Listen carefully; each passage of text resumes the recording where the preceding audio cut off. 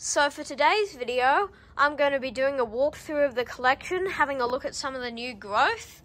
Um, this table might look a bit empty because my large Rebecca Soper is, and my Copelandii offered the Easter show to be judged in a competition. So that's pretty exciting. Um, I'm not sure if my video on that will be out yet. I haven't edited it yet, so that might come out after this one. Um, so in that video, I'm like preparing the plants, getting them looking all nice, and taking them into the show. Uh, so the first update, uh, this is my Nepenthes Lowii cross Truncata Giant, and this massive picture has finally opened. So as you can see, it's very large, um, has a nice striped peristome. um, this plant has pitchers much more elongated than the other one. So you can see this one is more colourful and um, the pitcher body is wider. Well, I can't really say wider, it's um, shorter than this one. So sort of see what I mean. This one's more elongated.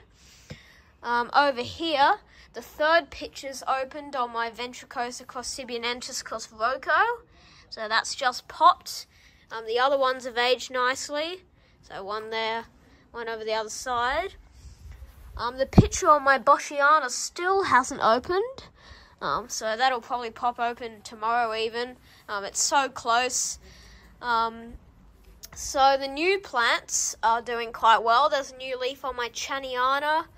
Uh, the Jamban, uh, yeah, that's actually going quite well. Um, I haven't put my Nepenthes flavas out here yet, so I'll do that after this video. Uh, Glandulifera's got a new leaf on the way. Um, this massive new leaf on my Truncata Squat Cross Nebularum is probably going to probably going to make a big picture. Um, over here, this is my area for sort of the plants that aren't doing well. Um, that double leaf on that cutting's pretty interesting, but my Bill Bailey's finally producing nice pitches. So that plant's supposed to be an easy grower, but it's really been struggling for me lately. Um, over this side, we have my Maxima Dark that was struggling, but now it's not. Has a nice picture in there, but this new one, haven't even had a look at it yet. Oh my gosh! Look at that flared peristome. That's amazing. Oh, never seen that on a Maxima before. Now you can see those other pictures don't really have that flare. Um, Miranda's going well. Oh, um, forgot to check on the new picture of my uh, martiensis. Where's that gone? Oh, it's actually dropped down here. So it must have filled up with pitcher fluid, but that's looking very, very nice. You can see that striped peristome. There's the last one, which is coloured up nicely. It's got some ants on it, and there's a new one about to pop open there. So this plant is doing very well. I'm very excited for when that basil gets a bit larger and starts producing pitchers. Uh, Miranda's got a new picture around the back.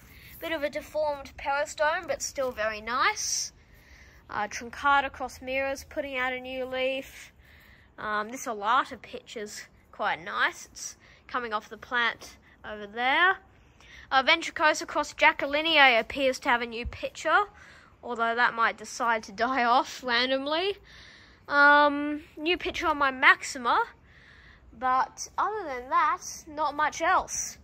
So I'll probably get that um, Easter show video out, uh, video out before this one. But if I don't, I'll put it in the end screen.